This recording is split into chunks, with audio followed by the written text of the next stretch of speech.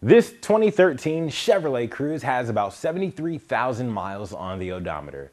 In this Cruze, you'll have plenty of different features to make your everyday commute fun and easy. There's heated front seats, a security system, AM FM radio, and XM available radio.